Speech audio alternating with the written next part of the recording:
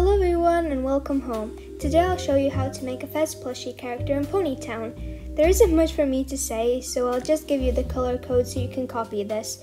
I've used the real color codes from the plushie, that way you'll definitely blend in. Maybe even a bit too much with those eyes.